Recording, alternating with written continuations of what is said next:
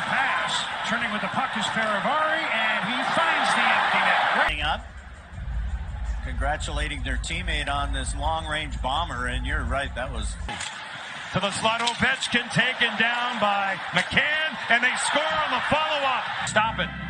And it was ended up being the follow-through there, JT of Alex set up. Gets a return.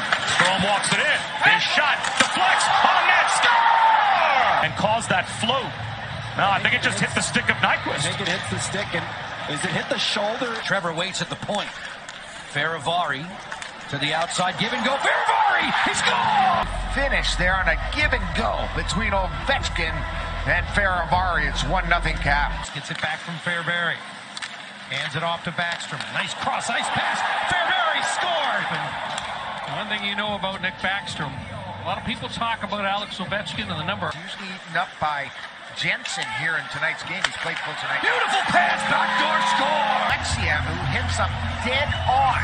So both deactivate. They burn